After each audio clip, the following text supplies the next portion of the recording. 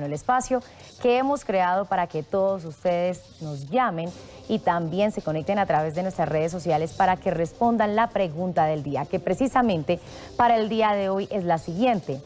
¿Cree usted que con la muerte de Santrich, de Romaña, el Paisa y tal vez ahora de Márquez, es el fin y ya llegó el fin de la nueva Marquetalia? Cuéntenos, ¿qué piensa usted? Tiene varias opciones para que interactúe con nosotros. En primer lugar, puede escribir su respuesta a través de nuestra cuenta de Twitter o también a través de nuestro Facebook Live con el numeral La Voz del Ciudadano.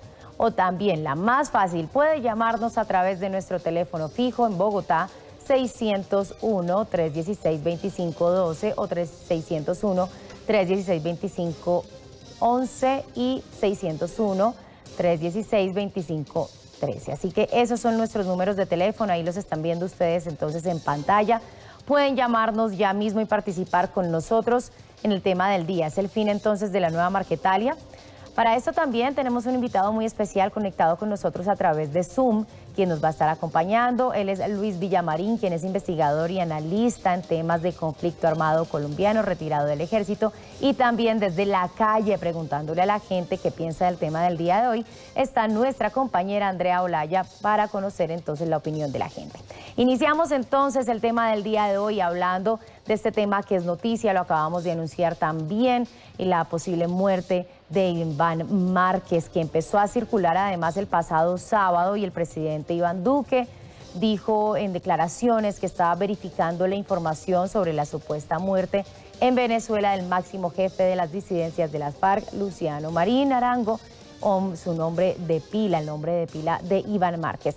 Bueno, iniciamos entonces con nuestro invitado especial a esta hora, Luis Villamarín. Muy buenos días y cuéntenos. Iniciando, iniciemos entonces con la respuesta suya frente al tema del día de hoy. ¿Usted cree entonces que con esta posible muerte sería el fin de la nueva Marquetalia? Buenos días, Lady, muy amable. No, no es el fin de la nueva Marquetalia por una razón muy sencilla. Esta es una estructura mafiosa que tiene nexos fuertes con el cartel de los soles, con el gobierno venezolano, ramificaciones en Perú, Ecuador, Brasil y en la misma Colombia y los documentos que se les han eh, conocido indican que están trabajando por la reconstrucción de todo lo que es el aparato de las FARC y que tienen personas que se han ido preparando o que ya tenían la preparación y la han ido difundiendo. Eh, es eh, una demora más a su plan, pero no van a ceder. Bueno, eso es lo que también pues vamos a estar revisando precisamente. Mire, señor Luis, en este momento ya tenemos llamadas de nuestros televidentes. Vamos a escuchar al señor Reinaldo Rivera que nos llama desde Bogotá. Señor Reinaldo, muy buenos días y qué opina usted del tema del día. Muy buenos días, pues escuchando al señor Luis, que no se va a acabar la nueva Italia. Pues muy grave, muy grave nos va, porque hay que entregarse. Y si esto va aliado con el narcotráfico, nos tocó legalizar la droga, presidente Petro. Hay que lograr acabar con la guerrilla hay que lograr unir al país. De alguna manera, Nueva Marquetalia, si nos escuchan, únanse al pacto histórico. Analista, don Luis, piénsenos, ayúdenos, por favor, porque hay que acabar con la guerrilla, pero de buena manera. No más muertes, por favor. Entreguen las armas, ayúdennos, país. Muchas gracias. A usted, señor Reinaldo, muchísimas gracias por estar aquí conectados con nosotros precisamente. Esto es lo que queremos escuchar, todas sus opiniones, todas válidas siempre como lo saben y lo hemos reiterado en este espacio, desde el respeto y la tolerancia. Nos vamos a conectar en este momento con otra llamada que estamos recibiendo del señor Silvino Vega que nos está llamando desde Antioquia. Señor Silvino, muy buenos días y cuéntenos, ¿llega el fin entonces de la nueva Marquetalia o qué va a pasar?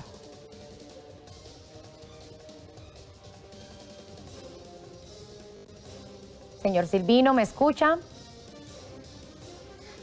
Bueno, creo que se cayó la llamada, pero mientras tanto vamos entonces a seguir hablando acá del tema. Recuerden que pueden participar también a través de nuestras redes sociales. Vamos a estar leyendo sus comentarios y también pueden llamarnos a nuestros teléfonos fijos que siempre van a estar aquí en la parte inferior de la pantalla para que usted simplemente coja su teléfono y llame y participe y nos cuente su opinión frente al tema del día de hoy. Bueno, señor Luis Villamarín, ¿qué le podemos responder entonces al señor Reinaldo frente a lo que nos acaba de decir.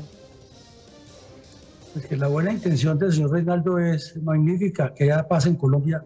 El punto es hasta qué momento el señor Petro se va a comprometer transparentemente con esto, porque el reciente informe de la Comisión de la Verdad indica lo contrario, que fue algo preparado, que fue algo eh, motivado para seguir a desarrollar los 12 puntos que estaban pidiendo la coordinadora guerrillera en el 92 y que este documento parece un refrito de eso y viendo lo que ocurre con Maduro y Petro, que tienen una relación extrañísima, más lo que ocurre en la frontera, es muy preocupante realmente que haya un proceso de desmovilización de las FARC y que no sigan pensando que Colombia tiene que llegar a ser otra Cuba y otra Venezuela en una componente extraña. Total que eh, muy bueno el deseo y me uno al deseo del señor que haya paz, pero no la paz que quieren los comunistas armados y desarmados y las FARC, sino la paz que necesita Colombia de poner un país a producir y a desarrollarse. Señor Luis, gracias. Tenemos otra llamada hasta ahora de Alexander Mosquera, quien nos está llamando desde Apartado Antioquia. Alexander, muy buenos días, su opinión. Muy buenos días eh, para, para y para todos los televidentes. Eh, yo entiendo que esos grupos delincuenciales no se acaban así de la noche a la mañana, porque son grupos estructurados para continuar en el tiempo, ¿cierto? porque sale un cabecilla y, automáticamente pues hay otro postulando. Entonces es muy difícil que se acabe esos grupos. Esos grupos, la única manera de pronto que, que se acabarían es de pronto con procesos de paz, con cumplimiento del Estado. Entonces, es básicamente ahí se logra pues como desmontar toda esa infraestructura de esos grupos. Gracias, Alexander, por su llamada desde Apartado Antioquia. Bueno, Luis, entonces realmente, si, si esto no se va a acabar, ¿qué significaría la muerte si es que se llega a confirmar de Iván Márquez? ¿Realmente qué podría significar para nosotros, para el país? Pues para el país, para el país significa que se eh, tiene un delincuente menos de ese nivel haciendo el daño que ha hecho. Significa también eh, un punto de inflexión para las guerrillas comunistas de seguir actuando de esa manera.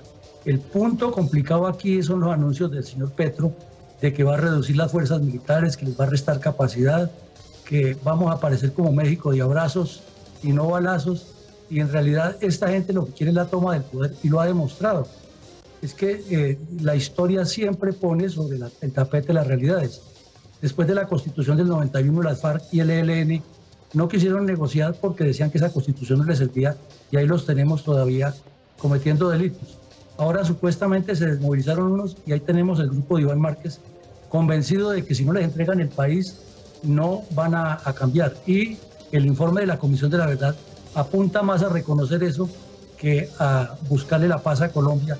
Entonces, si el señor Petro viene solamente a incrementar la burocracia y a darle la larga a eso, llegará el momento en que tiene fricciones muy fuertes con el mando militar, con el país y con el mismo Congreso, porque esta gente sigue armada, sigue haciendo daños, hay intereses estratégicos, están metidos en el narcotráfico y ellos lo que quieren es el poder para eh, imponerse como lo han planteado y no con un proceso de paz como ya lo hicieron con Santos o se intentó con Pastrana.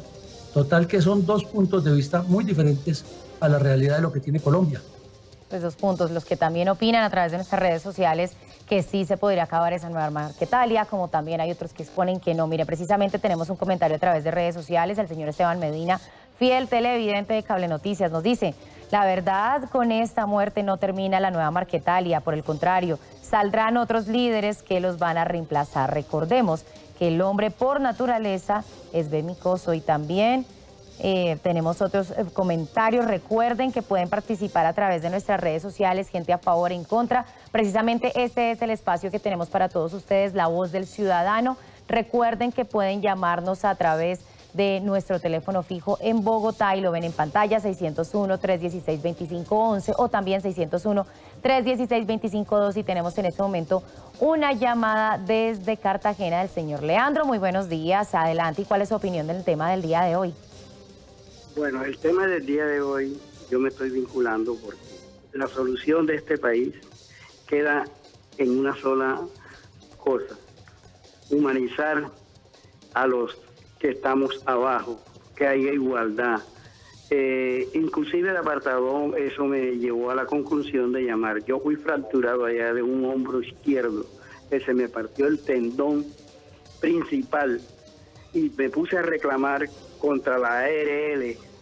Y lo primero que he conseguido, que las ARL son de, los que nosotros elegimos allá, senadores y representantes a la Cámara. Qué descaro que con la vejez a uno se le reviente un tendón. Eso es mentira. Lo que pasa es que uno no puede luchar contra esa mafia que es la que nos tiene esa guerrilla en la calle.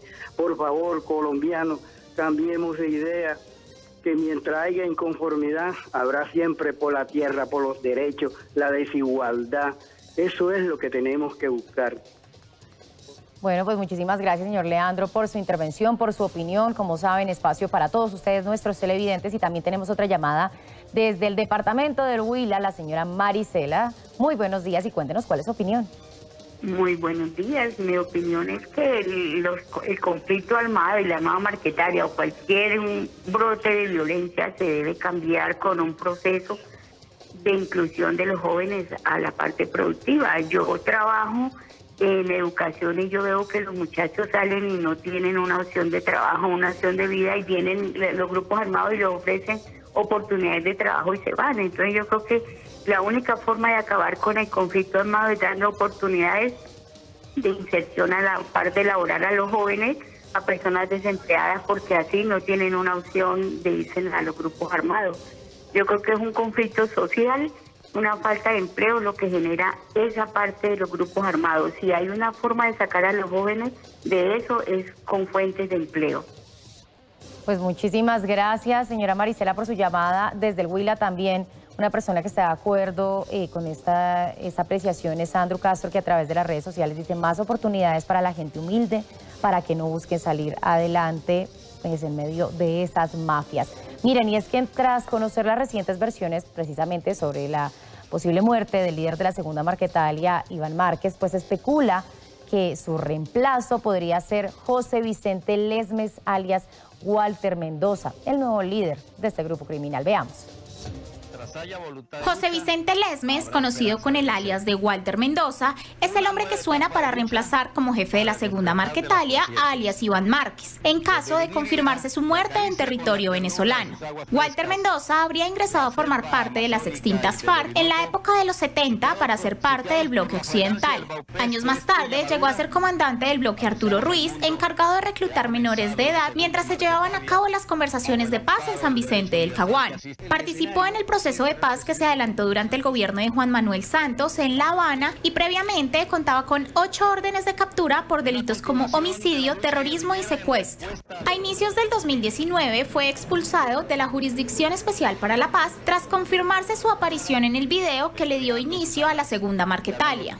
Las autoridades ofrecen una recompensa de hasta 3 mil millones de pesos por quien dé información sobre el paradero de este hombre. Bueno, continuamos entonces hablando de este tema al día de hoy. Recuerden que pueden llamarnos a través del 601-316-2512. Y tenemos en este momento un invitado que nos está hablando vía Zoom, el señor Luis Villamarín. Bueno, señor Luis, cuéntenos, ¿quién es entonces o quién podría ser este posible sucesor de Iván Márquez, alias, eh, alias Walter? ¿Y cómo estaría entonces, si no está Iván Márquez, quedaría conformada la nueva Marquetalia?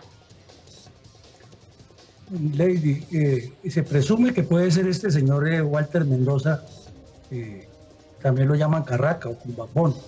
Este bandido pues tiene ya una experiencia larga y es el que ha redactado últimamente algunos documentos de la Marquetalia tras la muerte de Santrich. Pero ahí hay otro personaje siniestro que está en la frontera de Colombia y Venezuela, que se le dicen Villa, el alias Villa. Ese inclusive fue el que estuvo en el atentado contra el presidente Duque allá en, Cúcuta. Y los dos tienen igual de preponderancia. Esta es una decisión que la toman ellos de manera colectiva porque muchos de los que se habían supuestamente desmovilizado se estaban reintegrando a las FARC. Ahora, también hay un grupo fuerte abajo en el, en el, en el Putumayo que llaman los comandos de frontera, que se unieron últimamente a la Marquetalia y estaban integrando toda la región del Pacífico y Nariño. Entonces, eh, todavía sería muy apresurado decir que, sea este Walter Mendoza, aunque no es descartable porque es un criminal que tiene bastante experiencia en este tipo de delitos. Y también está el Sarco Aldinever, que aquí en Cundinamarca fue la mano derecha de Romaña toda la vida y anduvo con Márquez y es de los más cercanos a este, a este grupo delictivo. Total que eso es una decisión que toman ellos allá colectiva, pero lo, importante es que eh, no se acaba la segunda marquetaria por lo visto, porque tienen una estructura grande. Y también quiero complementarle algo de lo que dijo la señora y lo que dijo el señor de Cartagena. El conflicto no es social, es que la falta de foco en el Estado, la falta de políticas de Estado y objetivos nacionales es la que hace que cada presidente, cada Congreso nuevo que llegan, planteen unas soluciones de oportunismo, de politiquería, de populismo y no en el fondo pensando en grandes eh, megaproyectos, en eh, prospección del país dentro del continente, ni en el desarrollo nacional adecuado para que se fomente el empleo.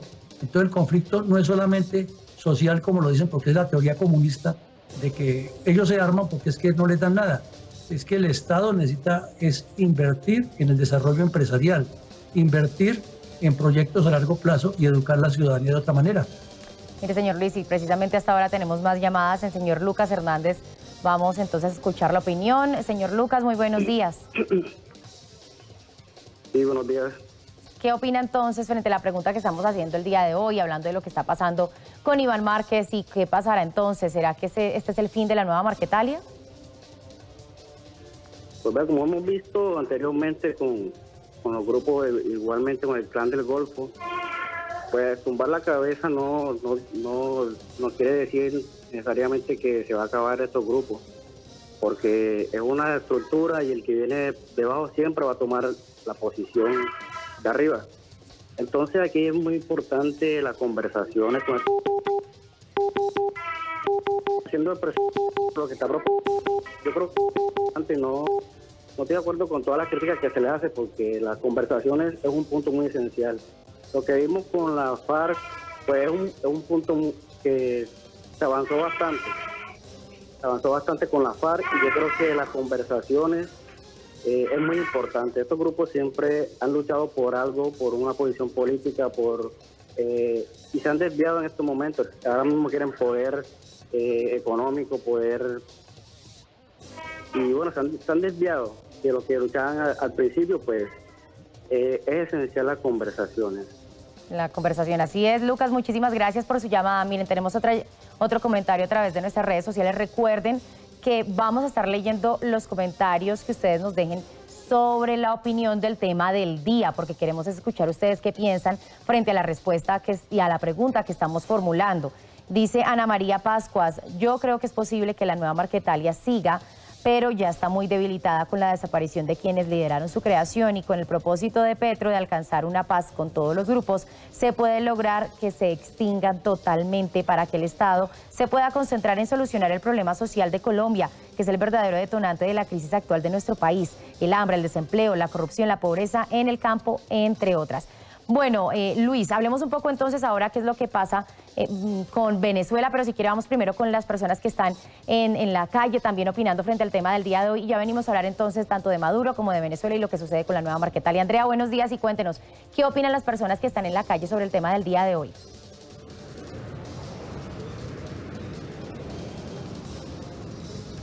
Lady Televidente, saludo cordial, Cable Noticias con la ciudadanía. La pregunta del día de hoy es, ¿cree usted que con la muerte de Santriz Romaña, El Paisa y ahora Iván Márquez se daría fin precisamente a la segunda Marquetalia, esta organización criminal que tanto daño y tantos asesinatos ha hecho en todo el territorio nacional. Pero esta pregunta se la vamos a trasladar precisamente a la ciudadanía acá en vivo y en directo. ¿Qué opina con la pregunta del día de hoy? ¿Será verdad que se termina esta segunda Marquetalia? Buenos días, estamos en vivo y en directo. ¿Su nombre cuál es? Héctor Fabio Calderón.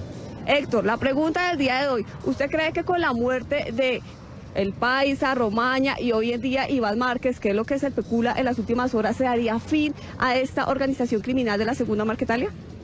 yo no creo porque siempre hay los que quedan al mando dentro de esas mismas organizaciones y como eso está mandado sobre todo por el tráfico, entonces ellos lo que necesitan es quién va a seguir dirigiendo el tráfico de estupefacientes. Siempre va a haber sucesores después de que dé baja a uno de los cabecillas. Mientras que no ataquemos el problema del narcotráfico, siempre habrá ese gran problema en Colombia. O sea, el problema es ver de qué manera logramos que las personas o los entes logren cambiar su forma de ingreso, que no sea el narcotráfico por otros ingresos y desgraciadamente la producción de, coca, de, de droga, ha hecho que sea muy lucrativo para estas personas y no acaba por ese motivo. Muchas gracias por su opinión, Lady. Usted la acaba de escuchar. Está la opinión de los ciudadanos. Sin embargo, si usted quiere seguir opinando, puede seguir comunicándose a través de la línea de Cable Noticias para opinar la pregunta del día de hoy. ¿Fin o no a la segunda marquetala? Yo me despido acá desde el occidente de Bogotá. Andrea Olaya para Cable Noticias. Pues Andrea, muchísimas gracias. Son las opiniones entonces de las personas que están precisamente en la calle, de los ciudadanos, porque eso es lo que queremos escuchar. Muchas veces nos quedamos solamente eh, con lo que nos dicen muchas personas, sobre todo a través de las redes sociales, pero también quienes están ahí a pie en el día a día, pues pueden opinar frente a todos estos temas. Recuerden que también queremos escucharlos a ustedes. Esta línea está abierta para que nos llamen en el teléfono fijo en Bogotá, el 601-316-2512. Bueno, Luis, estábamos entonces hablando previamente de lo que pasó y Andrea también habló de ellos. Eh, ya se ha hablado del Paisa, de Romaña, de Gentil Duarte, ahora se hablará y se habla de Iván Márquez y el régimen venezolano pues no se ha pronunciado nunca frente a esta situación y pues pasa precisamente en este país. Entonces, ¿cómo podríamos definir qué es lo que sucede ahora entre Venezuela y Colombia?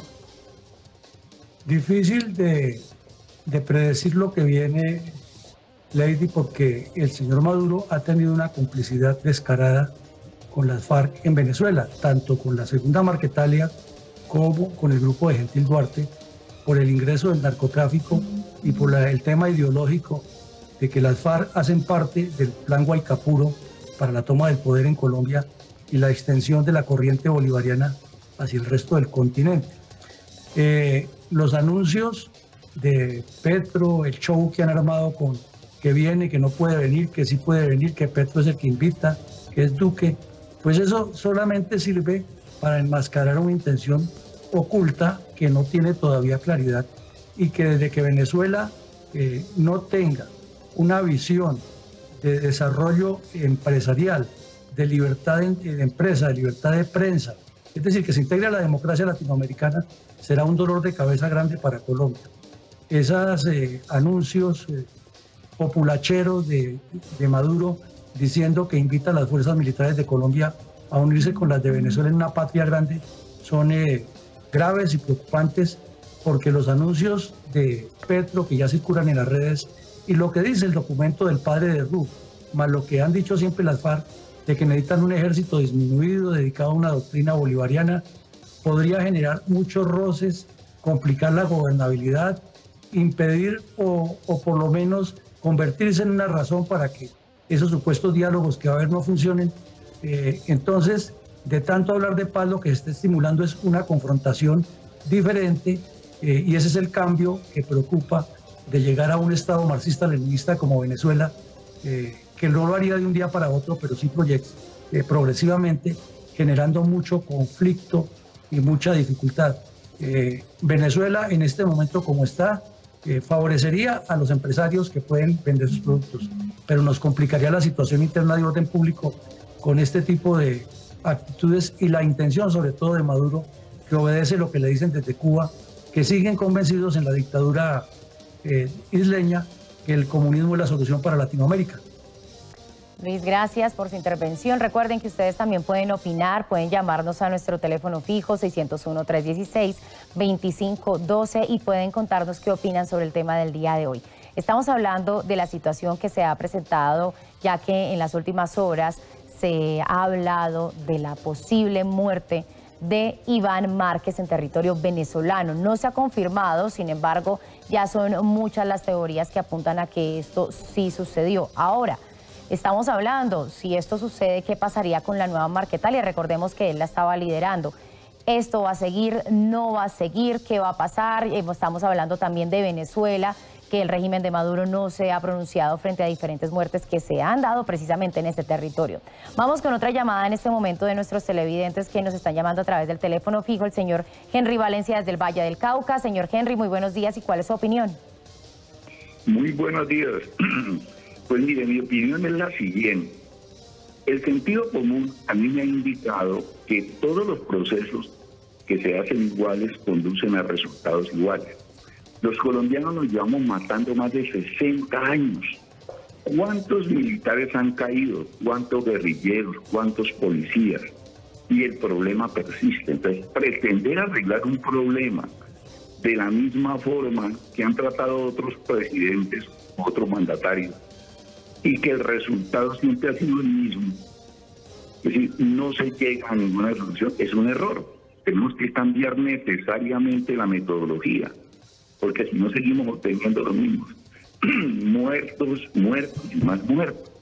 Ahora bien, los guerrilleros que acaban de matar, mientras las causas persistan, el problema seguirá. Tenemos que acabar con las causas de raíz. Perdón. Entonces, necesitamos que entiendan de que tienen que, es mejor un mal arreglo que una buena pelea. ¿Cuántos militares más tendrán que seguir muriendo? Que son los hijos del pueblo, porque son los que prestan el servicio militar. Los hijos de políticos y todo eso, esos no prestan servicio militar. Entonces, ¿cuántos pueblos más se tiene que morir para que entiendan de que esto es mejor un arreglo dialogado? pero que el gobierno también le cumpla a la guerrilla, que el gobierno cumpla, por Dios. Porque es que este gobierno desde que empezó, empezó a torpedear el proceso de paz. Necesitamos que realmente el gobierno cumpla y así puede exigirle a ellos también que cumplan. Pero si yo no cumplo es muy difícil que el otro me cumpla. Eso es lo que no estamos viendo. Y repito, atacar el problema de raíz, de dónde se está originando. Ahora bien, la guerrilla está muy respaldada también en este momento por el narcotráfico. Y mientras el narcotráfico sea el negocio que es, no solo la guerrilla, sino que también la patria van a seguir progresando. Entonces, el problema también está por allí que tenemos que mirarlo. No es solo matarnos a balazos, porque repito, para mí ese no es el camino, es el diálogo. Muchas gracias por haberme escuchado. A usted, Henry Valencia, que nos llama desde el Valle del Cauca, muy feliz día para usted. También tenemos otra llamada del señor Arcadio Varela, que nos está llamando desde el Meta. Señor Arcadio, buenos días, cuéntenos cuál es su opinión. Mi opinión es que Iván Márquez no creo que esté fallecido y nunca se va a acabar la delincuencia. Porque atrás de, Iván Márquez hay nuevos cabecillas atrás de él. ¿Por qué digo que no se van a acabar? Porque se ven ya la, presencia de ellos. No cambias. Yo, por por el cañón de las hermosas, de presencias, así por el meta también se presencias. Entonces yo sé que no se va a acabar. Se, se, dio de baja al cabecilla, pero yo sé que detrás de él hay nuevos cabecillas. Y uno que anda por aquí y eso es ver los, grupos. Bueno, señor Arcade. Nunca se va a acabar. Muchísimas gracias por su opinión. También estamos leyendo sus opiniones a través de las redes sociales. Eh, dice, por ejemplo, Alberto Rafael Rangel, nosotros asumirán el liderazgo, esto frente al tema de si se acabará o no la nueva Marquetalia. Eduardo Rodríguez y Claudia Sánchez a través de Facebook están de acuerdo con lo que decía ahorita el señor Henry Valencia, que nos llamó desde el Valle del Cauca, diciendo que pues el señor que llamó pues entiende el problema y están de acuerdo con que hicieron trizas la paz también. Eh, por ejemplo, también nos habla en este momento a través de las redes sociales Roberto Lambraño, quien dice la verdad es que los grupos armados al margen de la ley ya no tienen ese respaldo popular porque cambiaron el rumbo ideológico por actividades ilícitas contrarias a los intereses. Recuerden que estamos entonces recibiendo todas sus opiniones a través de las redes sociales y también a través de nuestro teléfono fijo. Bueno, ya entonces estamos concluyendo un poco el tema. Precisamente eh, Luis Villamarín nos ha estado hablando, eh, dando a conocer su punto de vista sobre lo que sucede, quien conoce también, el, es investigador y analista del conflicto armado colombiano y nos ha permitido también conocer qué es lo que sucede, qué es lo que pasa con la nueva Marquetalia, qué va a pasar, cuál sería su posible reemplazo y también lo que sucede con Venezuela. ¿Cómo podríamos concluir entonces esta situación, señor Luis? Frente a todo lo que hemos escuchado y frente a lo que hemos hablado en este espacio de la voz del ciudadano? Bueno, Lady, con más de 26 años de experiencia militar que tengo y habiendo escrito una buena cantidad de libros sobre el conflicto, habiendo entrevistado tanto guerrillero, veo en las respuestas de los televidentes muy buena fe pero mucha desinformación. La guerrilla nunca ha tenido razón de ser. Eh, los orígenes del conflicto no son la pobreza y la miseria. Los orígenes del conflicto es la violencia tripartidista que promovió el Partido Comunista para tomarse el poder y se inventó el cuento de que el Marquetal eran unos pobres campesinitos. Eh, de igual manera, eh, la solución no es solamente que hay que dialogar, ni, que, ni decir que el gobierno no cumple, porque si ponemos sobre la mesa, el gobierno Duque le cumplió más a la guerrilla que lo que la guerrilla cumplió. La prueba es que Iván Márquez y, y este señor Santrich le hicieron conejo y se volaron a Venezuela y desarrollaron lo que ya tenían previsto. Y el gobierno les cumplió muchísimo con esas zonas veredales que eran transitorias, apenas de seis meses en el gobierno Santos, y ya van para casi ocho años, y ahí siguen pelechando y pidiendo casa, carro y beca. Se les dio en la, en la cooperativa común que financian las FARC, se les mantiene los esquemas de escoltas, los terroristas que están en el Congreso son senadores y viven con unos sueldos multimillonarios diciendo que defendían al pueblo y se ganan 30, 40 millones de pesos sin producir nada, porque no tenemos noticia de que hayan producido. Y lo que es más importante, a lo largo de la historia, quien diga que la guerrilla ha tenido razón, que nos muestre una sola obra de beneficio comunitario que haya hecho la guerrilla. Entonces nos parece que es que la desinformación, la manipulación que hacen eh, tanto docentes infiltrados como sindicatos y otras personas mintiéndole al país acerca de lo que ha hecho la guerrilla es tenaz. Yo no estoy defendiendo a los políticos porque son los responsables de lo que nos pasa, pero creo que las cosas hay que ponerlas en la debida dimensión y entender mejor el conflicto y no sesgarse con unas posiciones que producen ese, tensiones. Pues señor Luis, muchísimas gracias. Usted hace un llamado muy importante a la información y eso es lo que precisamente queremos exponer en todos estos espacios donde podamos conocer su opinión, pero donde también ustedes puedan conocer diferentes perspectivas. Recuerden que esta es la voz del ciudadano, siempre nos pueden llamar de lunes a viernes a las 7 y cuarto de la mañana. Luis Villamarín, investigador y analista de temas del conflicto armado colombiano, muchísimas gracias por acompañarnos y esperamos tenerlo en otro espacio para seguir hablando de todos esos temas importantes. Muy feliz día. Muchísimas gracias, Lady. Muy amable por la invitación y siempre a sus órdenes. Gracias y a ustedes también. Gracias por llamarnos, por sus opiniones, por sus comentarios. Recuerden, siempre los vamos a estar recibiendo y leyendo, siempre todos en marco de la tolerancia y el respeto y también opinando sobre el tema del día. Pueden hacerlo en La Voz del Ciudadano, este espacio que hemos habilitado y que tenemos para todos ustedes en Cable Noticias para poder escucharlos. Llega el momento de hacer una breve pausa, pero quédese con nosotros. Ya volvemos con más noticias.